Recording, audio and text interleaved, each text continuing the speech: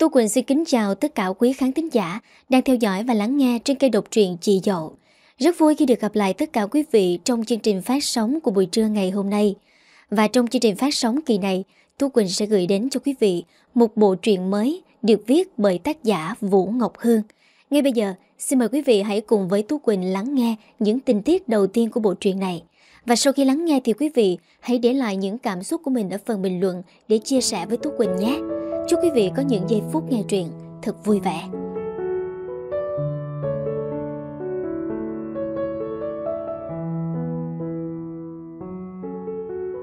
Thành phố bước vào chính hạ. Chiều hè tháng 6 oi ả, sức nóng ngoài trời có thể chiên trứng trên mặt đường. 5 giờ chiều, trước cửa tiền sảnh tòa nhà trực thuộc công ty tài chính Thiên Uy, lớn hàng đầu thành phố, cô gái trẻ bịt kín khẩu trang, cùng với áo chống nắng, Muốn tránh xa nhiệt độ đổ lửa, Nhưng không thể, Chỉ bực bội đi đi lại lại. Ngước mắt nhìn tòa nhà bọc kính, Một màu đen âm u tĩnh mịch, Dưới ánh hoàng hôn vàng vọt. Trần Thanh Hằng không rét mà run, Hơn một nỗi, Bảo vệ tòa nhà không cho phép cô ta đi vào bên trong. Thanh Hằng đã chờ ở trước cửa tiền sảnh 3 tiếng đồng hồ, Hai mắt cô ta bất chợt sáng quắc Khi nhìn thấy người đàn ông vóc dáng cao lớn, Mặc âu phục đen, Đi trước một nhóm người hung dữ tiến về phía cửa chính. Mỗi lúc một gần, anh ta có dung mạo, tuấn tú, khí phách bước người, toàn thân toát ra vẻ băng lãnh, thâm trầm. Nhìn thế nào thì vẻ nguy hiểm của người đàn ông 28 tuổi vẫn dọa người hơn nhóm người đàn ông xăm trổ đều kính đèn theo sau anh ta. Thanh Hằng vội gạt khẩu trang, lộ ra một khuôn mặt trang điểm đậm mướt mát mồ hôi. Cô ta đưa tay về phía trước, bất chấp hai người bảo vệ đẩy ra, miệng cô ta gào lên, trong thanh âm có chút nũng nịu. Anh Khải, Em Hằng đây, Em đã chờ anh suốt 3 tiếng, Anh gặp em một lát được không? Nếu Thanh Hằng biết Vương Khải chính là kẻ yêu cầu bảo vệ, Không cho phép cô ta vào bên trong, Chỉ sợ cô ta ngậm một ngụm máu mà phun ra. Anh không liếc qua cô gái này đến một giây, Cứ vậy bước qua, Sắc mặt lạnh lùng không biến chuyển. Thanh Hằng tước đến độ, Khuôn mặt trắng trẻo chuyển thành màu đỏ mợn Xoay người bám theo Vương Khải. Anh Khải Cô bị một người đàn ông hung dữ Đi sau lưng Vương Khải Gạt mạnh tay ra làm ngã ngửa ra đất. Thanh Hằng nhăn nhó Nước mắt trượt rơi xuống phụng phiệu. Vương Khải Đồ máu lạnh, đồ vô tình bạc nghĩa. Bước chân người đàn ông máu lạnh chợt khừng lại Anh hừ nhẹ một tiếng Cơ thể cao lớn xoay một góc 90 độ Nhìn cô gái đang tìm cách gượng dậy Đôi môi anh khẽ nhếch lên dịu cợt. Cô đến đây gặp tôi là để vay tiền đúng chứ? Bắt được sự chú ý của anh Thanh Hằng không thể kiềm chế được cảm giác Mừng rỡ trong lòng Gật đầu như gà mổ thóc Đúng đúng Anh Cải xưởng in nhà chúng ta đang gặp trục trặc. Dường làm ăn thua lỗ Còn bị người ta lừa. Tiền mất hết rồi Bây giờ sắp phải hầu tòa. Anh, anh làm ơn hãy ra tay cứu giúp. Nhà chúng ta chỉ biết trông cậy vào anh thôi. Anh hừ vang lên rõ hơn Càng khiến cho người đàn ông trước mặt Thanh Hằng Thêm lạnh khóc. Đôi mắt chim ưng sắc lạnh Nhìn chầm chầm Làm cô ta vô thức ruồn lên bần bật. Dù trong đáy mắt cô ta vẫn đầy vẻ phong tình Vàng lơn cầu cạnh Anh, xin anh. Cuốc. Vương Khải buông một tiếng Như xô nước đá dội thẳng lên đỉnh đầu Thanh Hằng. Đẩy mắt âm độ lóe ra tia băng. Cô ta run run quỵ ngã Vừa bất lực lại vừa căm giận trừng trừng nhìn anh Phận uất rít lên nếu người đến gặp anh không phải là tôi, Mà là con Tú, Có phải anh sẽ giúp không hả? Dường như người đàn ông lành lẽo kia thoáng khường lại, Đấy con người bằng giá có chút ấm áp. Vương Khải lập tức trấn định, Đôi mày kiếm trâu lại, Từ từ xoay lưng. Thanh Hằng nửa mừng nửa giận đến tím tái. Tuy nhiên, cô ta vẫn còn nhớ rõ mục đích đến đây. Chỉ cúi đầu nhìn đoàn người của Vương Khải, Vào trong hai chiếc xe hơi bốn chỗ, đèn bóng. Ngôi nhà ba tầng của nhà họ Vương nằm trên một con phố vắng. Chủ nhân của nó là ông Vương Kiên, giám đốc xưởng in Vương Hoa, kẻ đang phải đối diện với rắc rối lớn chưa từng có trong đời. Chán nản trở về, Thanh Hằng đóng sầm cửa. Phía sau lưng, tuột những thứ che chắn nắng nóng trên cơ thể, vứt hết ra bàn trà. Cô ngồi phịch xuống sofa. Nếu không vì cái nhà này thì chẳng đời nào cô ta lao ra đường thời điểm này. Bà Trần Ngọc Lan lo lắng bước vào trong phòng. Trước thái độ cô con gái lớn, khuôn mặt xinh đẹp còn xuân sắc được chăm sóc kỹ lưỡng của bà ta, Nhanh chóng xa sầm. Rót trà cho con gái hạ hỏa Bà ta ngồi bên cạnh Thanh Hằng Sốt ruột hỏi. Hằng sao con đi lâu thế? Thằng Khải nó nói sao con? Thanh Hằng rít lên Hai mắt căm hờn đỏ hoe. Còn thế nào nữa? Anh ta không giúp chúng ta Còn đuổi con đi. Bà Lan có chút run rẫy Trong mắt chuyển đỏ.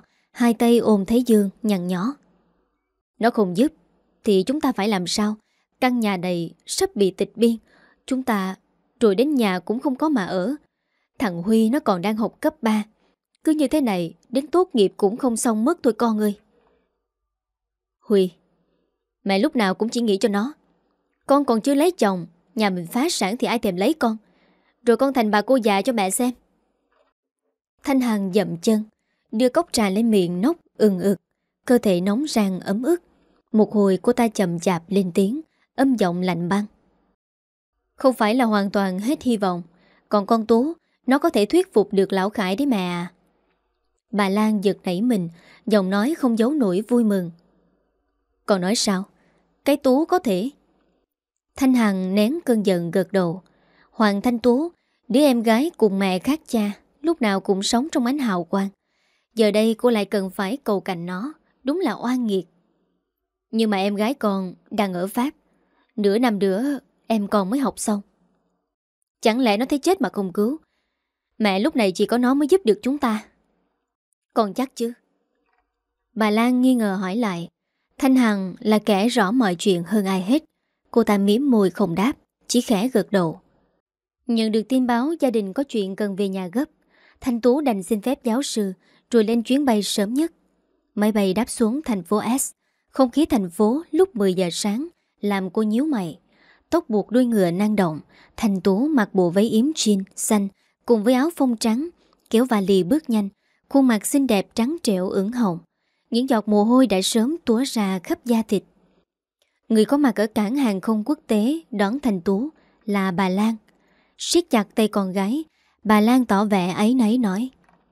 Tú, mẹ xin lỗi để con phải tạm ngừng việc học về đây giúp giường, giúp nhà chúng ta. Không sao đâu mẹ, mọi chuyện thế nào mẹ cho con biết cụ thể với. Thanh Tú được nhà họ Hoàng hỗ trợ về mọi mặt. Năm 18 tuổi, bà nội cho cô sang Pháp để học tập. Đến nay, ở tuổi 24, cô sắp hoàn thành khóa đào tạo thạc sĩ chuyên ngành kinh tế. Đã gần 6 năm học tập ở xứ người, chỉ thỉnh thoảng Thanh tú mới về Việt Nam. Lần này là lần thứ hai kể từ Tết Dương lịch cô trở lại đây. Trên taxi, bà Lan đưa khăn tay chấm nước mắt kể lại mọi chuyện cho Thanh tú Biết chuyện cha dượng làm ăn thua lỗ, con nợ nần ngập mặt đến mức sắp mất toàn bộ tài sản. Thanh tú chua xót cắn môi. Dù lâu nay mối quan hệ giữa cô và ông Vương Kiên nhạt nhòa như nước lã. Nhưng dẫu sao thì ông ta cũng là chồng của mẹ cô, là cha của em trai cô, thế nên cô trấn an. Mẹ à, hay là con thử nói với bà nội, biết đâu bà lại có cách giúp dượng. Bà nội mà cô nói đến là bà Kim Yến. Người đàn bà quyền lực của gia tộc họ Hoàng. Bà Yến là mẹ của cha cô, ông Hoàng Thế Quân, người chồng đã mất của bà Lan. Nghĩ đến người mẹ chồng xưa nay luôn tỏ thái độ ghét bỏ, còn nói bà ta là thứ không ra gì Bà Lan đanh mặt Vội xua tay Đừng Chuyện nhà mình không liên quan gì đến nhà họ Hoàng cả con đừng có nói Kiểu họ lại càng coi thường chúng ta Sau đó Bà ta cúi mặt Rầu rĩ tiết lộ Còn biết không Anh Khải bây giờ làm phó giám đốc công ty tài chính Thiên Uy Chỉ anh ấy mới có thể giúp chúng ta thôi Tiền anh ấy đảm bảo không thiếu Quyền hành lại lớn như vậy cái xưởng in cỏn con với số nợ của Dượng chẳng là gì so với anh ấy cả. Thanh Tú ngạc nhiên và vui mừng, liền hỏi lại. Anh Khải, giờ làm hẳn chức vụ đó sao mẹ? Sao... Nhớ lại những vết lằn roi tím, rớm máu trên da thịt Vương Khải. Nhớ lại khuôn mặt lầm lì chịu đòn. Nhớ cái ngày anh bị nhốt, suýt chút nữa không thể tốt nghiệp cấp 3. Thân hình thiếu niên gầy guộc chìm trong bóng tối.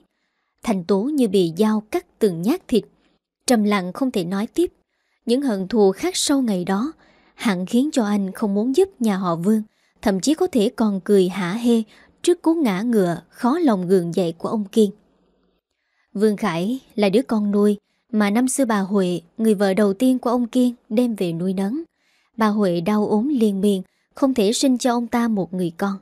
Bà thương anh côi cúc, nhận nuôi anh từ trại trẻ mồ côi. Năm mình lên 7 tuổi, bà Huệ qua đời, anh bỗng trở thành vật cản trên con đường tìm hạnh phúc của ông Kiên. Bà Lan bước vào nhà họ Vương là lúc anh 12 tuổi. Mỗi lần nhìn anh, bà ta lại một lần nữa thấy chướng mắt. Chỉ hận một nỗi không thể tống anh trở lại trại trẻ. Ông Kiên cũng chẳng đói hoài tới, mà kệ vợ kế muốn hành anh như thế nào thì hành. Khi Vương Khải rời bỏ nhà họ Vương, anh chỉ mới có 18 tuổi. Nếu Thanh Tú không kịp trộm chìa khóa của bà Lan mở cửa cho anh, thì anh đã chẳng thể hoàn thành buổi thi tốt nghiệp trung học. Cũng chính ngày hôm đó, anh quyết định rời khỏi những kẻ chỉ muốn anh chìm trong bóng tối. Muốn anh cả đời làm nô lệ cho họ. Công nhân khuân vác xưởng in không lương. Công việc đó, bà Lan nhắm đến cho anh từ sớm. Để đạt được mục đích, bà ta quyết ngăn chặn con đường phát triển của anh. Suốt những năm qua, số lần Thanh Tú gặp Vương Khải không nhiều. Lần cuối cùng cô gặp Vương Khải là cách đây nửa năm. Tối hôm đó, cô cùng với mấy cô bạn cấp 3 đến quảng trường lớn, đếm ngược chào năm mới. Sau thời khắc pháo hoa rực rỡ, đám đông xô đẩy làm nhóm con gái các cô xảy ra xô xát với một đám thanh niên côn đồ. Đúng lúc đó cô bỗng gặp được anh. Anh vẫn như vậy, thâm trầm, lạnh lùng. Gặp cô, anh cũng không hỏi han Chỉ giúp nhóm cô bình an, thoát khỏi lũ du côn kia. Khi ấy cô muốn gọi anh, muốn nói lời cảm ơn, muốn hỏi thăm anh nhưng mà chưa kịp cất lời, anh đã rời đi, cùng với những người đàn ông xăm trổ theo sau anh. Mẹ, anh Khải nói sao hả mẹ? Thành Tú nghẹn lại, cả khuôn mặt thâm trầm không nhìn mẹ. Bà Lan sụt xịt, đanh giọng trách cứ. Cái thằng vô ơn ác nghiệt đó, nó không thèm giúp ba nó. Cái hằng đến tìm nó, nó còn đuổi cổ. Bà ta bấu những ngón tay, dán móng, tô điểm tinh xảo vào da thịt mềm mại của Thành Tú. Hai mắt thành khẩn van xin. Nhưng con thì khác, con có thể nhờ nó giúp giường. Chỉ cần con nói, chắc chắn nó sẽ nghe con. Mẹ xin con, tương lai của mấy người nhà chúng ta đều phụ thuộc vào con đấy Tú. Nước mắt chảy dài trên khuôn mặt xinh đẹp, chưa có nhiều dấu thời gian. Bà Lan chợt sững người khi Thanh Tú sầm mặt, âm giọng không nén được tức giận. Cô từ từ gỡ tay mẹ ra khỏi cổ mình. Mẹ nghĩ con có thể sao? Năm xưa mẹ với Dượng đối xử với anh ấy như thế nào? Mẹ và Dượng đến vang lại anh ấy có khi còn có cơ hội hơn con đấy. Mẹ sao có thể làm như vậy chứ? Còn Dượng con, ông ấy đang bị tạm giam, không thể nào đâu con. Mà dù chúng ta có đến, cũng chỉ chút nhục nhã thôi. Nhưng mà chị con nói con có thể. Nghĩ đến người chị của mình, Thanh Tú khẽ thở dài một tiếng. Trần Thanh Hằng là chị gái của cô, nhưng không cùng cha. Chị ta là kết quả sai lầm đầu đời của bà Lan. Khi ấy, mẹ cô mới 19 tuổi. Không chồng mà đẻ ra chị ta. Cha chị ta không rõ là ai, nghe nói đã bỏ đi biệt xứ. Bà Lan vẫn ruột xịt bên tai Thanh Tú. Coi như mẹ van xin con đi Tú, dù sao mẹ với Dượng cũng chăm lo cho con từ bé. Dù nhà họ Hoàng có gửi tiền cho con, nhưng cũng không đáng bao nhiêu cả. Con hãy vì Dượng, vì mẹ một lần đi con. Không đáng bao nhiêu. Thanh Tú không muốn bốc trần bà ta. Cô chỉ im lặng. Nhà họ Hoàng giàu có nức tiếng. Bà nội cô không tiếc tiền cho cô ăn học bên trời Tây. Chẳng có lý gì bà keo kiệt với cháu gái những năm tháng thiếu thời. Có điều cô cũng không muốn tranh cãi với người mẹ này. Trên hết, cô không muốn mình có thể van xin Vương Khải mũi lòng. Hơn nữa, chuyện xảy ra là do ông Kiên tự làm tự chịu. Liên lụy đến Vương Khải, chỉ khổ anh thêm tôi. Tiền mất rồi sao có thể đòi anh giúp? Cô bực bội nghiêm giọng nói. Anh Khải khổ cực trăm bề mới lên được vị trí hiện tại. Tốt hơn, nhà mình đừng có kéo anh ấy xuống vũng buồn ngày xưa nữa. Thấy Thành Tú một mực không chấp nhận, bà Lan từ từ van xin, chuyển sang tức giận. Mày, được, chúng tao có ra sao cũng không ảnh hưởng đến mày phải không? Phải rồi, dù chúng tao có đi ăn xin ăn mày, thì mày vẫn là tiểu thư danh giá nhà họ Hoàng. tao đúng là đã nuôi ông tay áo. Mày giờ đủ lông đủ cánh, nên chẳng còn cần biết đến mẹ đến giường, đến chị em mày nữa. Bà Lan ôm lấy mặt, nước mắt tuôn ra như mưa. Vỗ vỗ ngực khóc nức lên. Hoàng Thế Quân, sao tôi lại lấy anh? Rồi đẻ ra đứa con gái bạc tình bạc nghĩa này chứ. Thôi, để tôi đi theo anh cho xong. Tôi sai nên mới đẻ ra nó. Cái thư con gái độc ác Vô tình vô nghĩa Bà ta khóc loạn Làm người tài xế cũng bực mình Anh ta cố gắng nín nhịn Để tập trung lái xe Thành tố lắc đầu thở hát ra một hơi Ấy nấy, nói với người tài xế.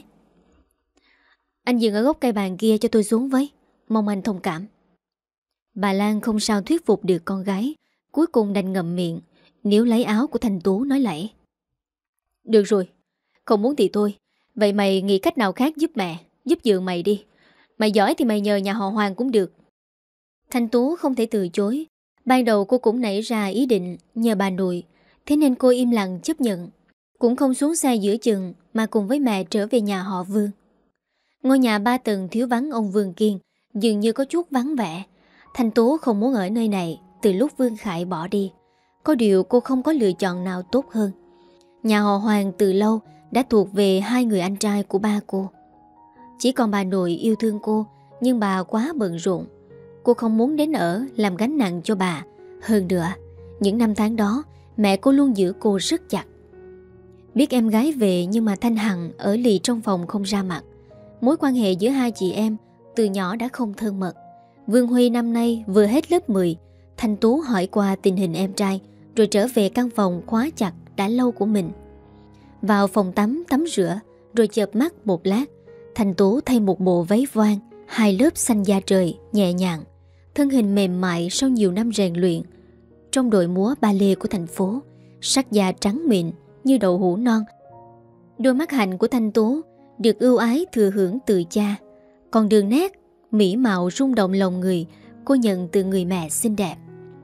Trái ngược với Thanh Tú, Thanh Hằng lại có vẻ ngoài thô cứng, Di truyền từ người cha chưa bao giờ thấy mặt.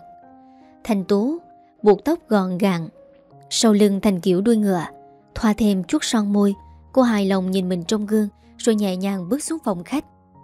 Giúp việc nhà họ Vương Bây giờ chẳng còn ai. Bà Lan đang lúi húi nấu nướng trong bếp. Nghe tiếng bước chân, Bà ta liền bước ra hỏi. Con đi đâu giờ này thế? Cơm trưa sắp xong rồi. Bà nội bảo con sang cơm trưa. Con nghĩ cũng nên gặp bà sớm. Nghe vậy, Bà Lan vui vẻ dục con gái. Vậy đi nhanh đi, Kéo bà chờ. Con cố gắng giúp dưỡng giúp mẹ con nhé. Con biết rồi mẹ. Bà Lan chắc đến 9 phần. Bà Yến không thèm giúp đỡ, Nhưng bà ta vẫn muốn hy vọng một phen. Thế nên trong lòng hồi hộp chờ đợi, Thành Tú bước vào taxi, Tài xế thẳng tiến đến nhà họ Hoàng, Một ngôi biệt phủ rộng lớn Nằm ở trung tâm thành phố. Xưa đây Bà Lan tay trắng, Dắt hai đứa con gái rời khỏi nhà họ Hoàng. Trong lòng bà ta hận nhà họ Hoàng Không để đâu cho hết, Nhưng mà chẳng thể làm gì. Căn bản ngay từ ban đầu, Bà Kim Yến đã phản đối người con dâu này. Bữa trưa nay, Nhà họ Hoàng bày biện linh đình, Nhưng chỉ có mình bà Yến Tiếp đón con gái. Gia đình hai người, con trai lớn của bà ấy, Lấy cớ bận rộn, Nhưng thực chất, họ đều thấy chướng mắt Đứa cháu gái này. Sự tồn tại của Thanh Tú Đe dọa đến gia sản khổng lồ của nhà họ Hoàng Mà họ được hưởng. Nếu không có cô thì sẽ tốt hơn. Mấy năm nay, Bà Yến đã không còn tham gia vào việc công ty Của gia đình họ Hoàng. Chỉ ở nhà vui thú tuổi già, Thỉnh thoảng bà lại gọi điện nói chuyện với Thanh Tú. Gặp lại cháu gái ngoài dự kiến, Đôi mắt bà Yến sáng lấp lánh Trước vẻ xinh đẹp rực rỡ như nắng hạ của cô. Gấp cho Thanh Tú miếng thịt bò bít tết, Bà Yến ồ yếm nói, Học hành bên đấy thế nào rồi Mà con lại về nhà tầm này? Con vẫn theo đúng tiến độ bà à Nhưng mà chuyện nhà bố dượng, Bà nội có biết không à Bà Yến trầm mặt, Gật nhẹ. Ta đã nghe qua. Con thì có liên quan gì? Chẳng phải bao năm qua, Bà đều chu cấp đầy đủ cho cháu gái bà. Thậm chí số tiền ấy còn đủ nuôi cả đứa con hoang kia. Không cần một xu từ hai vợ chồng đó sao? Năm đó, Bà muốn nuôi Thành Tố Nhưng chính bà Lan không đồng ý. Bà vẫn luôn lo lắng không yên. Bà sợ Thanh Tú lớn lên, Giống tính mẹ chỉ giỏi đầu mày cuối mắt Mùi chài đàn ông May mà cháu gái bà ngoan ngoãn học hành Không ăn chơi, đua đòi Như mẹ con nhà nó Nghe âm giọng của bà nội Thành Tố cũng đã hiểu vấn đề Cô nhẹ giọng bảo Bà nội, Dượng và mẹ con Gặp rủi ro Còn chẳng yên lòng được Ta sẽ không giúp cây làng Điều đấy không cần bàn cãi. Thanh Tú biết cô sẽ được thừa hưởng phần tài sản rất lớn của cha cô. Có điều, người có quyền quyết định là bà Yến. Nếu bà không muốn tiêu tốn gia sản, nhà họ Hoàng cho dưỡng cô, thì cô không thể làm gì cả. Thanh Tú chỉ cúi mặt chấp nhận. Cô không có cách nào đưa một khoản tiền lớn cho mẹ cô lúc này nếu bà Yến không cho phép. Bà Yến nhấp ngụm trà hoa cúc, tiếp lời. Chẳng phải anh con nuôi nhà dưỡng con, bây giờ đã làm phó giám đốc công ty tài chính lớn sao? Thanh Tú thoáng giật mình. Tự nhiên lại cảm thấy hai má nóng rang trước câu hỏi của bà nội.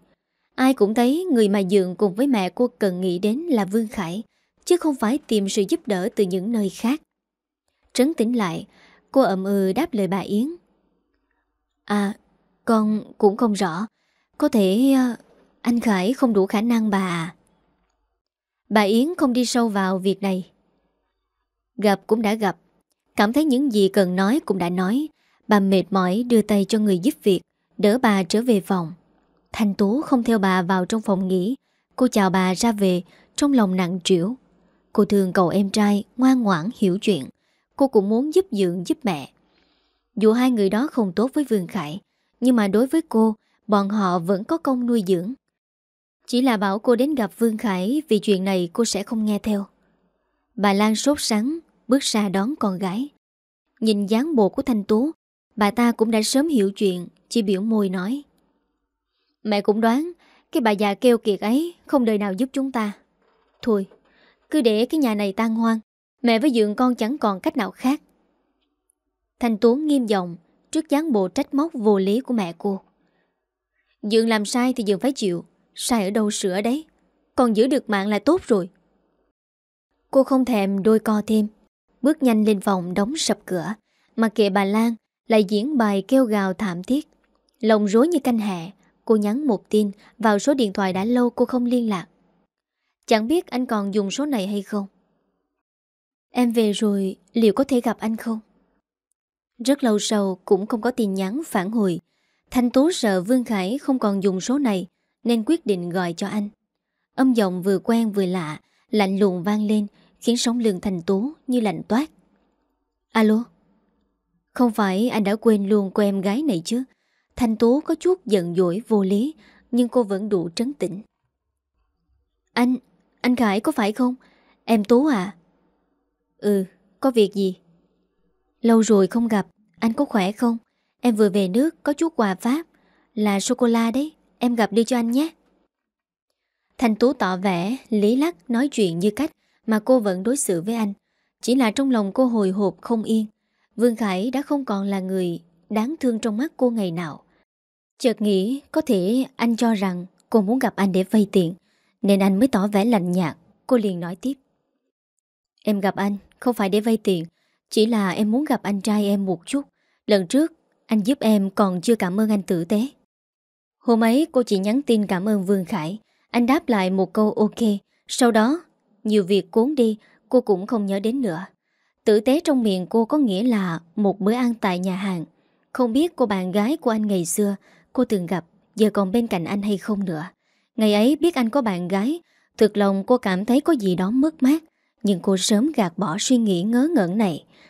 Mà mừng cho anh có được một người con gái bên cạnh. Ừ, có thể. Vương Khải nhàn nhạt đáp. Thanh Tú nhẹ nhõm, mỉm cười đáp. Tối mai em mời anh một bữa. Nhớ mang cả bạn gái đến nữa đấy Vương Khải không trả lời Anh chỉ ừm nhẹ một tiếng Thanh Tú vui vẻ dặn Em sẽ nhắn cho anh địa chỉ quán Tối mai 7 giờ anh phải có mặt đấy nhé Thanh Tú đặt bàn tại một nhà hàng khá sang chảnh tại trụ sở Thiên Uy, rồi nhắn địa chỉ cho Vương Khải. Chuyện của Dượng cô không thể làm gì. Nếu thanh lý toàn bộ tài sản để có thể trả nợ, thì ông ta chẳng có gì, nhưng khả năng cao sẽ phải ngồi tù. Cô dự định sẽ trợ cấp cho Vương Huy đến khi em trai cô học xong đại học. Tối hôm sau, Thành Tú đến nhà hàng từ sáng sớm. Cô tết tóc nửa đầu, khuôn mặt xinh đẹp, trang điểm nhẹ. Trên người mặc chiếc váy voan màu hồng phấn trang nhã. Cổ áo thuyền lấp ló xương quai xanh Vẻ tiểu thư yếu điệu Càng hiện rõ trong ánh đèn vàng ấm áp Người phục vụ trẻ Chờ Thanh Tú gọi món Hai mắt cậu ta cứ ngay ra Dán chặt lấy cô Đúng 7 giờ cửa phòng VIP được mở ra, người đàn ông cao lớn bước vào một thân âu phục đen. Khuôn mặt tuấn tú theo thời gian càng khiến cho người nhìn đắm chìm. Anh quét đôi mắt sắc, dừng ở khuôn mặt xinh đẹp, có chút hồi hộp của Thanh Tú. Vẻ lạnh lùng của Vương Khải không hề thay đổi, mà dường như tăng thêm, khiến Thanh Tú hơi khớp một chút. Trong ký ức của cô, anh chưa từng cười. Cô đứng dậy, gượng cười. Anh Khải, làm mất thời gian của anh rồi. Không sao, em về nước từ bao giờ? Vương Khải kéo ghế, ngồi xuống đối diện với Thanh Tú. Nửa quan tâm, nửa thờ ơ hỏi.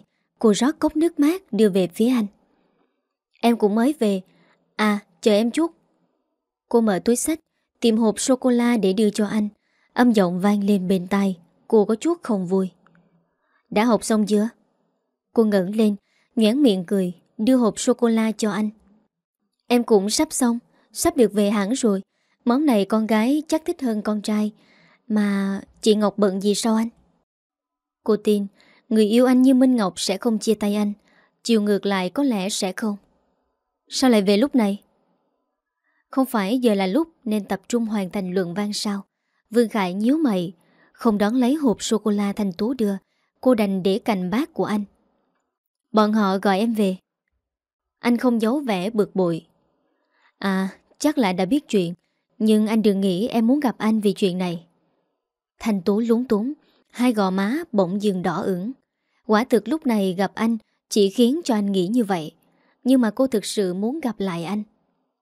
Tôi chưa từng nghĩ như vậy. Vương Khải trở lại vẻ lạnh lùng, Anh đưa lại hộp sô-cô-la. Thứ này cất đi. Thanh Tú xua tay cười. Nếu như anh chê, Thì coi như em tặng chị dâu cũng được. Cô ấy không ăn ngọt, Cũng không phải ngọt. Cảm giác như có gì đó khen một tiếng. Thanh Tú lúng túng, Đành lấy lại món quà. Thì ra anh đã chia tay Minh Ngọc, Giờ là một cô gái khác Ở bên anh. Người phục vụ lần lượt đưa những món ăn ngon mắt, Ngon miệng vào phòng. Thanh Tú gấp đồ cho anh, Biểu nhẹ môi cười. Chị ấy bận gì sao? Em thì rất muốn gặp chị dâu đấy. Ừ. Em còn chưa chúc mừng anh chị lên chức. Mình nâng ly chứ nhỉ? Không có gì đáng chúc mừng. Bà nội em có khỏe không? Bà vẫn khỏe anh à. Hiện tại anh ở đâu? Cô biết, Mình vừa hỏi anh một câu rất bình thường, Nhưng lại hàm chứa ý nghĩa khác. Thế nên hai gò má, Thêm một lần đỏ ửng như trái đào chín. Năm xưa, Thời điểm Vương Khải mới rời nhà họ Vương, Anh ở trọ một mình trong căn phòng cấp 4 Võng vẹn 8 mét vuông. Thỉnh thoảng, cô vẫn lén mẹ Dượng đến gặp anh. Cô đối với anh là tình thương Tình anh em Hay là vì điều gì khác Cô cũng không rõ cũng không muốn phân tích rạch ròi. Cô tìm cách hỗ trợ cho anh. Cô muốn anh vào đại học. Anh học rất giỏi. Cô muốn anh tiếp tục học tập, chứ không phải lao ra đời, trong khi tay chẳng có gì. Vậy mà không lâu sau, anh hoàn toàn biến mất, chỉ gửi cho cô tin nhắn đừng tìm anh. Một ngày cô tình cờ biết anh làm việc trong một quán bar. Cứ như vậy, anh đã đi trên con đường mà mỗi khi nghĩ đến, trái tim cô lại nhói đau. Vương Khải im lặng, anh rót cho Thanh Tú một ly nước cam. Cô hiểu anh không muốn trả lời, cũng muốn xác định khoảng cách với cô. Thế nên, dù cô còn muốn hỏi Vương Khải nhiều điều, nhưng mà lời chưa đến miệng thì bị nuốt ngược trở lại. Chẳng thể nói gì. Cuối cùng cô chỉ vui vẻ mời anh những món đặc sản nhà hàng. Chắc hẳn để lên được vị trí hiện tại, những bữa tiệc xa hoa với anh đã quá đuổi bình thường. Anh không bao giờ còn là cậu trai cao gầy, bị mẹ cô phạt nhìn cơm. Nửa đêm, đau dạ dày hành hạ không ngủ được. Lúc ấy, cô chỉ có thể lén giấu cơm mang cho anh, chẳng thể mời anh ăn thoải mái thế này. Cổ họng chợt nghẹn ngào, cô mấp máy miệng. Công việc hiện tại áp lực lắm có phải không anh? Vương Khải nhướng nhẹ hàng lông mày. Có thể xem là như vậy. Vậy anh phải chú ý sức khỏe, đừng có bỏ bữa, cũng đừng thức khuya, cũng phải hạn chế bia rượu. Khóe môi khẽ giật, anh gật đầu đồng tình như để cô yên lòng. Cô hiểu chứ, làm sao anh có thể tránh khỏi bia rượu, cũng như làm sao có thể đừng thức khuya. Cuộc sống của anh, cho đến tận lúc này, chỉ sợ vẫn gắn liền với bóng đêm. Công ty tài chính Thiên Uy có lớp vỏ hào nhoáng, nhưng bản chất là một lũ người cho vay nặng lãi. Cô trầm ngâm nhìn anh, tự hỏi không biết dưới lớp áo sạch tinh kia là bao nhiêu vết sẹo, là bao nhiêu lần anh vào sinh ra tử. Em cũng cần phải chú ý. Thanh Tú cười gật đầu với anh. Buổi gặp mặt này có gì đó không thực. Những lời cô nói với anh lúc này đều hết sức gượng gạo. Anh không muốn thân thiết với cô. Từ nhỏ đến giờ vẫn vậy, dù cô luôn muốn gần gũi anh. Thực ra thì việc anh đồng tình lời mời bữa ăn này đã là một việc làm cô hết sức ngạc nhiên. Tiếng gõ cửa bên ngoài, ngay sau đó là một âm giọng đàn ông xa lạ vang lên. Anh Khải, đến giờ rồi. Vương Khải cho mày, vẻ đàm mạc vẫn luôn hiện hữu như chẳng có điều gì trên đời khiến anh lay động. Anh gác đũa đứng lên. Tôi phải đi, cảm ơn em về bữa tối nay. Thanh Tú còn ngạc nhiên, anh mới ngồi cùng cô chưa đến nửa tiếng. Cô không nghĩ anh rời đi sớm như vậy. Cảm giác mất mát, khó giải thích. Cô ấy níu chân anh. Còn chưa xong bữa nữa sao lại vội như vậy? Tôi còn có việc, rất tiếc. Không sao cả, tối mai anh có rảnh không? Tối ngày kia em sẽ trở lại Pháp. Cô cũng không biết, nếu anh trả lời là rảnh thì cô sẽ mời anh đi đâu. Chỉ vô tri vô giác, bật lời lại như vậy. Mai không được. Vậy trưa ngày kia? Vương Khải lắc nhẹ đầu, anh xoay người rời đi. Cơ thể căng cứng vì chờ đợi của Thanh Tú, chợt buông lỏng. Cô yếu xìu thở ra một hơi, cảm giác bản thân như quả bóng xì hơi, chấp nhận sự lành nhạt không che giấu ở anh. Dừng chân trước cửa phòng, Vương Khải bất ngờ lên tiếng. Đêm nay ông Kiên sẽ được trả về, người của tôi sẽ giúp ông ta tại ngoại. Thành Tú có chút ngỡ ngàng, tưởng mình nghe nhầm. Ngay khi cô hiểu vấn đề thì anh đã đẩy cửa bước ra ngoài. Lời cảm ơn còn ngàn lại chưa kịp nói, nhưng anh cũng chẳng cần những lời thừa thải ấy. Ít nhất thì nhà họ Vương đã có một chỗ dựa vào lúc này. Tạm thời chỉ cần dưỡng cô được về nhà là mừng lắm rồi. Còn lại một mình, Thanh Tú chẳng thiết tha ăn uống, dù món ăn vẫn tiếp tục được mang vào. Cô lau tay đứng dậy, xuống quầy thu ngân đề nghị thanh toán. Nữ thu ngân trẻ tuổi, mỉm cười nhìn cô đáp. Phòng VIP số 1 có người thanh toán rồi à? Sao lại thành thế này? Cô đúng là không tính đến trường hợp này. Anh vững mạnh như vậy, chẳng phải là rất tốt hay sao? Chỉ là sâu trong lòng cô cứ khó chịu đến tê tái. Về đến nhà họ Vương, Thanh Tú xuống taxi, đẩy cổng bước vào, chưa kịp báo tin tốt về ông Kiên. Thanh Hằng đã lao ra, sốt sắng hỏi. Tú, mày vừa đi gặp ông Khải về có phải không? Chị theo dõi em sao? Cô bực mình lừa mắt với Thanh Hằng. Cô ta không trả lời, chất vấn. Anh ấy có chịu giúp nhà mình không? Chị để em vào nhà cái đã. Thanh Hằng nén sốt ruột bước theo Thanh Tú vào phòng khách. Bà Lan đã sớm biết con gái đi gặp Vương Khải, thế nên cũng lập tức bước ra. Tú, cậu ta nói sao? Đêm nay Dượng sẽ được cho về, Mà chuẩn bị đi đón Dượng đi. Thật, thật chứ? Bà Lan vui mừng thốt lên, chỉ sợ mình nghe nhầm. Ông Kiên nợ nần ngập mặt, còn bị các chủ nợ cáo buộc tội lừa đảo nên phải chịu giam giữ suốt một tuần nay. Những tài sản ông ta có đang trong diện bị tịch biên. Mấy năm nay xưởng in, làm ăn thua lỗ, vay mượn khắp nơi. Ông ta chán nản xa vào vỏ đen nên mới sinh chuyện.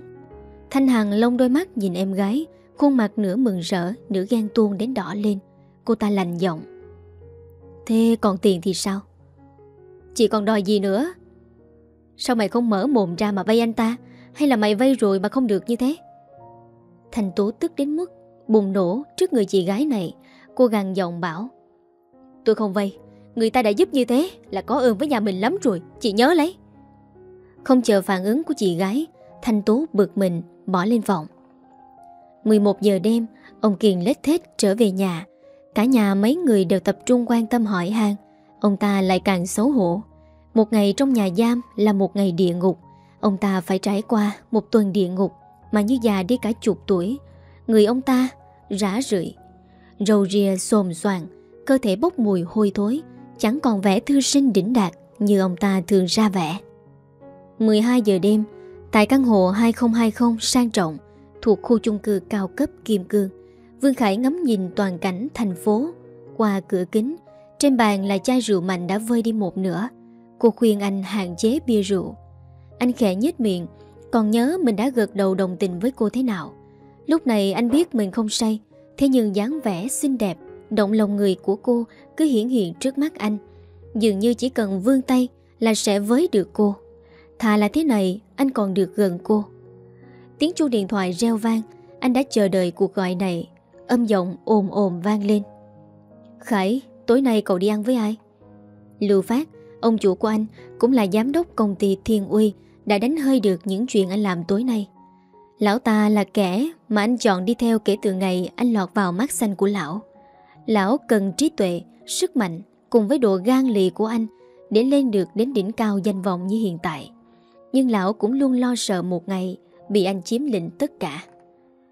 Em gái tôi, ông chủ không cần quan tâm tôi quá mức như vậy. Tại sao lại muốn giấu? Cậu làm tôi tò mò đấy. Phương Dung không làm cậu hài lòng sao? Tôi tồn tại để phục vụ ông. Những chuyện khác không cần bàn đến. Cậu thật khéo ăn nói. Cho tôi hỏi thăm sức khỏe của ba nuôi cậu, được chứ? Cảm ơn ông đã quan tâm. Em gái nuôi, rất xinh đẹp. Đôi mắt Vương Khải tối sầm lại. So với bầu trời đêm, không trăng không sao, dường như còn tối hơn. Âm giọng, âm trầm của anh vang lên, hết sức dọa người. Con bé là cháu nội của bà Kim Yến của Hoàng Hải. Thì ra là như vậy. Thế thì đành phải nói một tiếng, tiếc cho cậu. Bàn tay Vương Khải cuộn chặt, từng khớp ngón tay dần trở nên trắng bệt. Vài giây sau, anh buông lỏng. Con bé luôn là em gái tôi. Được, tôi nghe cậu, muộn rồi giữ sức khỏe nhé. Ông cũng vậy. Tiếng ngắt máy khô khóc vang lên, Vương Khải đặt cạch cốc rượu cạn xuống bàn. Tối nay anh đã muốn giấu việc đến gặp cô. Cuối cùng, vì việc bảo lãnh cho ông Kiên mà lão ta nghi ngờ điều tra hành tung của anh. Cũng không sao cả, cô là cháu nội bà Kim Yến, đối tác lớn của Thiên Uy. Xưa nay lão ta vuốt mặt, luôn biết nể mũi, nhưng một khi vượt quá giới hạn của lão, thì chưa thể biết. Màn hình điện thoại phát sáng, Phương Dung, cô bạn gái mà lão phát tặng cho anh nhắn đến. Anh ngủ chưa? Em khó ngủ quá. Hay là em sang với anh? Anh đang say, không nên. Vậy càng nên. Phương Dung miếm môi chờ đợi. Cuối cùng thì chỉ nhận được một dòng tin nhắn lạnh lùng từ con người không có trái tim. Không nên. Cô biểu nhẹ môi, chán nản vứt điện thoại ra giường. Rốt cuộc thì anh có trái tim thật hay là không có như lời đồn. Cô đã yêu Vương Khải ngay từ lần đầu tiên gặp gỡ. Khuôn mặt, dáng vóc anh đều là hàng cực phẩm. Bản lĩnh của anh cũng là điều làm cho cô mê đắm. Dù cô đã trải qua yêu đương với không ít đàn ông, nhưng tất cả bọn họ so với anh chỉ là cốc ghẻ so với thiên Nga. Tiếng tin nhắn từ cha nuôi lưu phát vang lên. Tối nay Vương Khải của con bí mật hẹn hò đấy nhé. Có chuyện này sao? Lần đầu tiên Phương Dung nghe đến chuyện hẹn hò bí mật của anh. Trong lòng cô không khỏi kinh ngạc cùng với bàn hoàng. Bản năng phụ nữ khiến cô bất giác ruồn rảy. Vương Khải không phải là kẻ hành động khinh sức. Anh muốn giữ bí mật về cuộc hẹn. Có nghĩa cuộc hẹn ấy chỉ nên là bí mật. Cha chỉ giỏi nghi ngờ thôi. Chúng con đang rất hạnh phúc. Anh Khải rất tuyệt, nhất là trên giường. Làm sao có thể nghi ngờ anh ấy chứ? Cô vì anh mà dối trá. Nếu như cô khai ra sự thật, anh và cô chưa từng thực sự yêu đương, thì đó chính là lời thừa nhận thất bại. Lão Phát sẽ lập tức thay cô bằng một đứa con gái xinh đẹp khác, quyến rũ anh để làm gián điệp cho lão. Đương nhiên, chuyện đó sẽ không bao giờ xảy ra. Được, cha tin ở con. Phương Dung hài lòng đọc dòng tin nhắn cuối cùng của Lưu Phát. Khóe miệng khẽ nhếch, cô bước ra ban công, châm lửa rít điếu thuốc trên tay. Đốm đỏ lập lòe sáng trong đêm tĩnh lặng. Nghĩ đến vườn Khải, hai mắt Phương Dung mênh mang, nhìn dòng sông lấp loáng cuối chân trời. Văn phòng giám đốc công ty tài chính Thiên Uy điều hòa phả mát lạnh. Người đàn ông ngoài 50 tuổi, Lưu Phát, chủ nhân của nơi này, nheo nheo mắt nhìn cô gái trẻ xinh đẹp trong bức ảnh điện thoại. Cô gái ngồi cùng nhóm bạn trong một quán cà phê trang nhã ven hồ, đôi mắt trồng vèo hướng về phía hồ nước, đôi môi anh đào nhoảng miệng cười, đầy vẻ ngọt ngào. Ảnh chụp con nhỏ đó sáng nay sao? Dạ vâng thưa ông chủ. Nó chính là đứa con gái trong nhóm mấy đứa chúng mày Từng ngẫu đã để bảo vệ sao Chính thế thưa ông Lão ta gật gù hài lòng Đôi mắt cáo già lóe sáng Tối hôm đó Ngày 31 tháng 12 Ngày cuối cùng của năm Vương Khải báo cáo ở lại công ty làm việc Tránh buổi liên hoan toàn công ty Vậy mà khi Lưu Phát tìm đến anh Thì không thể tìm được Sau đó Nhóm người theo anh có kẻ báo cáo lại tình hình ẩu đả cho lão. Đám thanh niên côn đồ kia, cỡ 10 thằng, thấy mấy cô gái xinh đẹp, định làm loạn. Bọn người của anh phải mất một lúc mới khống chế được chúng. Vương Khải không phải là loại người sẵn sàng ra tay hiệp nghĩa, thậm chí anh thờ ơ đến tàn nhẫn, vậy mà lại mấy đứa con gái xa lạ ra tay bảo vệ. Từ đó Lão Phát đã cảm thấy có gì đó đáng nghi. Một Vương Khải cấm dục nhiều năm khiến lão vừa tò mò vừa thú vị. Cuối cùng lão quyết định tặng mỹ nhân Phương Dung, vũ nữ đẹp nhất quán ba Galaxy, làm bạn với anh. Anh không từ chối món quà. Từ lúc ấy lão mới tạm cho qua chuyện đêm giao thừa. Lần thứ hai Vương Khải lại khiến cho lão nghi ngờ. Lần này lão quyết không đơn giản cho qua. Bao năm anh tồn tại một thân một mình. Hoàn toàn không có điểm yếu. Lão đã từng đe dọa người nhà anh nhưng vô ích. Điểm yếu của anh chính là thứ lão đang cần. Chỉ cần nắm được cái vẫy ngược của con rồng, chắc chắn con rồng sẽ hoàn toàn quy phục. Lão thờ ơ ra lệnh, tay vẫy vẫy tẩu thuốc. Tìm cách giữ người, hết sức nhẹ nhàng, đừng để người đẹp tổn thương một sợi tóc. Sáng nay Thành Tố hẹn mấy người bạn trong nhóm múa ba lê, một thời tụ tập tại quán cà phê ven hồ. Mấy cô gái có người theo nghiệp múa chuyên nghiệp, có người đã theo chồng bỏ cuộc chơi, yên phận ở nhà nội trợ, làm người vợ người mẹ đảm đang. Ngọc Mai khuấy cốc trà chanh, cười nói. Sao lại về nước đúng cái lúc nóng nhất thế này thế gái xinh? Thành Tú nhấp cốc cà phê sữa. Nhà em có chút việc, nhóc kênh nhà chị độ này còn bám mẹ không? Nó đi lớp rồi, người lớn hẳn ra. Cô đẹp nhất, lại không theo nghề, bà giáo này cứ tiếc mãi đấy. Em tập vì thích thôi, ngay từ đầu đã không có ý định theo. Thanh Tú mỉm cười Trà mi, diễn viên múa ba lê đang nổi tiếng Biểu môi treo Chị Mai nói thế em lại tuổi thân đấy Tao chỉ nói sự thật thôi Mày phải cảm ơn nó Không cạnh tranh với mày đi nhá Cả mấy cô gái cùng cười rộ lên. 6 năm xa nhà, Những năm ở Pháp, Thanh Tú vẫn đều đặn Đến một câu lạc bộ múa Để rèn luyện, Nhưng chỉ vì để giữ sức khỏe. Quảng thời gian miệt mài trong lớp tập Đã trôi qua rất xa. Cái tú yêu đương đi thôi, Đừng có kén nữa. 24 tuổi, lại đẹp như tiên nữ thế này, Tao nhìn còn thèm. Thanh Tú chỉ cười, Ánh mắt cô xa xăm, Nhìn hồ. Xưa này cô không thiếu đàn ông theo đuổi. Tại trường đại học nơi cô đang học tập Các cây si cả người Pháp lẫn người Việt Xếp một hàng dài Chỉ là cô vẫn cảm thấy bản thân chưa sẵn sàng Hình bóng về người con trai tuấn tú Có đôi mắt u tối dáng bộ đáng thương nhưng mà chưa từng khuất phục kia luôn hiện hữu khiến trái tim cô mềm nhũng. Từng hồi ức về anh hiện ra trong tâm trí, cô bần thần im lặng. Ngày Vương Khải nhắn cô muốn đi kiếm tiền ở một nơi xa. Cô đừng tìm anh, cảm giác xót xa khi nhìn hàng chữ vẫn còn khiến cho cô cảm thấy khắc khoải. Một thân một mình cô độc, không tiền, không quan hệ, anh phải sống thế nào?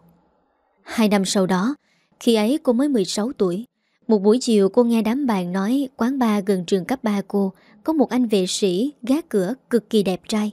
Anh ta lạnh lùng thâm trầm, như cai ngục nhưng lại hấp dẫn các cô vô cùng. Đặc biệt là anh không cho phép các cô gái mặc đồng phục học sinh vào trong quán. Dần dần thì bọn con gái trong trường tò mò, càng lũ lượt kéo đến, chỉ với mục đích để ngắm anh, còn thách nhau cưa đổ anh, nhưng mà tất cả đều thất bại. Bọn nó không tin anh là gỗ đá, Thế nên quyết kéo Thanh Tú đến gặp anh Chỉ đơn giản muốn trêu anh Xem anh có thể từ chối đề nghị của mỹ nhân không Thời điểm ấy Thanh Tú là thiếu nữ đẹp nhất Còn có tài năng múa ba lê nổi tiếng khắp trường Cuộc chạm mặt bất ngờ với Vương Khải Khiến thành Tú ngỡ ngàng Cô mừng rỡ gọi anh, Vậy mà anh tỏ ra không quen biết, Nhưng cô không buồn Cô hầu như chưa bao giờ buồn quá 5 giây Vì việc anh thờ ơ với cô cứ như cô có thể nhìn sâu vào nội tâm cô độc của anh. Quán ba đầy rẫy tệ nạn. Thành tú quyết định tìm gặp anh thêm một lần nữa. Khuyên nhủ anh hãy từ bỏ nơi này đi. Anh lạnh nhạt bảo cô tập trung học tập. Đừng quan tâm đến anh. Cô đành chấp nhận rời đi nhưng mà trong lòng lo lắng không yên. Hai lần xuất hiện của cô đều hết sức thu hút kẻ khác. Thành Tố nhanh chóng lọt vào mắt xanh của mấy gã ma cô trong quán. Chính Vương Khải là người đã cứu cô khi bị bọn chúng chặn đường sau giờ tan làm. Một mình anh liều chiến với ba thằng to con, dù kết cục anh thắng, nhưng mà cũng bị ăn đòn không ít. Mặt mũi thầm tím Chân tay xước xác Anh im lặng rời đi sau khi cô được an toàn. Mặt cắt không còn hạt máu. Cô sợ đến mức không nói được một câu cảm ơn. Anh đã quay lưng. Tối hôm đó, Lòng lo lắng không yên. Cô lấy can đảm cùng với mấy người bạn đến quán bar tìm anh, Nhưng không gặp. Ở quán, nói anh xin nghỉ mệt. Rõ ràng anh gặp chấn thương vì cô, Lòng xót xa vô cùng. Cô may mắn hỏi được địa chỉ, Nơi anh đang ở. Thấy thành Tú ở trước cửa nhà, Vương Khải hết sức bất ngờ. Đáy mắt ù tối của anh lóe sáng trong câm lặng. Cô mừng khi biết anh chỉ hơi mệt, Hoàn toàn không bị thương. Cô kêu đói, Anh cho cô vào nhà, Còn nấu cơm cho cô, Không để cô động một ngón tay. Bữa cơm đơn giản, Chỉ gồm một món thịt kho, Một đĩa trứng chiên Và một món rau luộc, Nhưng cô ăn rất ngon. Cho đến tận lúc này, cô vẫn còn nhớ rõ hương vị. Trước khi rời đi, Cô dúi vào tay anh tiện, Kết quả là anh không nhận, Còn lạnh mặt đẩy cô ra khỏi cửa. Trưa hôm sau, Cô vẫn mặc giày đến gặp anh, Còn mang theo đồ ăn ngon. Vậy mà người mở cửa lại là Minh Ngọc. Cô ta biết cô là em gái anh Sởi lợi kéo cô vào nhà. Ba người cùng ăn cơm. Anh hầu như im lặng, Còn Minh Ngọc thì vui vẻ nói chuyện với cô, Nhưng chẳng lúc nào rời quan tâm anh. Trái tim cô dường như có gì đó tan vỡ, Vừa đau vừa nhức nhối. Nhưng rất nhanh, Cô quyết định là cô em gái ngoan, Thật lòng mừng cho anh. Đúng vậy Cô mừng vì anh đã có một cô bạn gái xinh đẹp, Yêu anh thật lòng. Cô muốn ở bên cạnh chăm sóc cho anh. Như vậy thì anh sẽ không còn cô độc nữa. Cô không ngờ sau lần gặp đó, Anh đã chuyển đi. Vẫn là dòng tin nhắn anh gửi cô. Anh chuyển việc. Cô hãy tập trung học tập, Đừng kiếm anh nữa. Cứ vậy cô không còn gặp anh thêm một lần nào nữa, Cho đến tận khi cô đi du học. Cô bé này sao ngẩn ra thế? Hay là nhớ đến anh người Pháp đẹp trai nào rồi? Âm thanh từ Ngọc Mai kéo Thành Tố trở về với hiện thực. Thành Tố mỉm cười đáp. Làm gì có, Đàn ông Pháp làm sao bằng đàn ông Việt được chị nhỉ? Gớm, Có ai yêu anh trai Pháp nào đâu mà biết. Một cô gái khác, Bổ bả lên tiếng. Trời, Tay ta gì cứ đẹp trai là yêu tất. Những tiếng cười lại rộ lên, Buổi gặp mặt cà phê kéo dài thêm một lát, Rồi cùng đến lúc chia tay. Thanh Tú vừa ra khỏi quán đã có một chiếc taxi chờ đến. Hạ cửa kính, Người tài xế trẻ đều kính cận, Lịch sự mời mọc. Chị gái, về đâu em chở? Nếu tiện đường qua trường em, Thì em bớt cho chị. Em là sinh viên đại học ca đi làm thêm. Đại học ca? Đúng là tiện đường qua nhà cô. Hơn nữa, nghe cậu ta là sinh viên làm thêm, Lòng cô có chút cảm thông. Cô mỉm cười, vừa nói vừa mở cửa xe sau. Tiện đường đấy. Cậu cho tôi về 290 phố X. Xe đi được một đoạn bất ngờ Rẽ vào một ngõ nhỏ vắng. Thành Tú lập tức thắc mắc Sao cậu lại rẽ vào đây? Cậu ta dừng bên đường đón người Là một thanh niên tương tự cậu ta. Trông có vẻ Đe dọa, giải thích Thằng bạn em nhờ đi cùng một đoạn Chị cho bạn em đi với nhé. Thanh Tú câu mày chưa biết nói sao. Chuyện thế này cô từ chối cũng khó. Cánh cửa vừa mở Người thanh niên bước vào nhanh chóng Áp một chiếc khăn lên miệng cô. Kết quả cô tiếp đi bên vai cậu ta. Đôi mắt u tối của Vương Khải Như càng thêm tĩnh mịch. Bức ảnh chụp thanh tú, Bình yên ngủ trong xe hơi, Được lão phát gửi đến. Hàng mi rợp bóng như cánh quạt khép nhẹ, Khuôn mặt mỹ nữ trắng hồng, Chiếc váy lụa màu lam trên người có chút tóc lên, Để lộ đôi chân dài trắng muốt, thẳng tắp. Tư thế ngủ của cô vừa đẹp mắt, lại vừa dễ khiến cho kẻ ngắm nhìn nảy sinh dục vọng. Trước đôi mắt tình quái của Lưu Phát, vẻ lạnh băng trầm ổn của Vương Khải đã sớm bị phá vỡ. Cổ họng khô khóc yết hầu anh căng cứng dịch chuyển. Từng giọt mồ hôi lấm tấm xuất hiện, bất chấp việc anh cố gắng giữ vẻ thờ ơ đến mức nào. Lưu Phát xoa xoa hai bàn tay vào nhau, đôi mắt gian xảo công công nhìn anh. Chuyện này lão ta cũng không hy vọng nhiều Ai ngờ lão tóm được váy rồng thật Anh hùng quả nhiên khó qua được ải mỹ nhân Thiên thần, say ngủ, Đẹp xuất sắc. Từ lúc bà Lan bước vào nhà họ Vương, Ngoài giờ học, Vương Khải còn phải đến xưởng in, Chạy việc vặt. Lớn hơn một chút Thì khuân vác, Rất vất vả mới được miếng cơm vào bụng. Nhưng chính khoảng thời gian đó, rèn luyện thể lực cho anh. Sau giờ học, anh còn lén theo một võ sĩ luyện tập. Không quản nắng mưa khuya sớm, Thành Tố chưa bao giờ biết anh có được thân thủ tốt thế nào. Cho đến khi thấy anh một mình chiến đấu với ba thằng ma cô quán ba năm đó. Năm Thành Tú 20 tuổi, cô trở về Việt Nam. Một lần nữa cô tình cờ gặp lại anh. Điều làm cô đau lòng nhất, điều ám ảnh nhất trong những giấc mơ. Cho đến mãi sau này, chính là buổi tối cô thấy anh trắng bệt, gục ngã ở một con hẻm vắng vẻ. Trên người anh có rất nhiều vết thương váy đỏ, cả chiếc áo sơ mi trắng anh mặc. Cô ngỡ ngàng mở to hai mắt, ban đầu còn tưởng mình nhìn nhầm, trấn tĩnh lại, cô vội vàng chạy đến nhưng không kịp. Một đám đàn ông hung hãn kéo anh vào một chiếc xe bốn chỗ đen bóng, đang nhanh chóng tẩu thoát. Cô run rẩy, toàn thân bủn ruộng, lập tức chạy đến đồn công an gần nhất để báo cáo sự việc. Kết quả chẳng được gì, cảnh sát không quan tâm đến những việc như thế. Cô gọi điện nhắn tin cho anh đều không có phản hồi. Thời gian trôi qua dài đằng đẵng, tra tấn cô như trong địa ngục. Chưa bao giờ cô cảm thấy sốt ruột đến như thế. Cô phải xin phép giáo sư vì lý do sức khỏe, chưa thể trở lại Pháp để ngóng tin anh. Một buổi sáng, anh nhắn lại cho cô thông báo anh đã ổn. Cô không cần lo lắng. Chỉ đến khi nghe được âm giọng trầm ổn của anh, cô mới thở vào nhẹ nhõm. Dù anh không đồng ý gặp cô. Kính thưa quý vị, chúng ta vừa cùng nhau lắng nghe xong tập đầu tiên của bộ truyện được viết bởi tác giả Vũ Ngọc Hương. Xin mời quý vị hãy tiếp tục theo dõi những diễn biến tiếp theo của bộ truyện này sẽ được phát sóng vào 12 giờ trưa ngày mai trên kênh độc truyện Chị Dậu nhé. Còn bây giờ Tú Quỳnh xin phép được nói lời chào tạm biệt và hẹn gặp lại tất cả quý vị trong những chương trình phát sóng tiếp theo. Chúc quý vị một ngày an lành.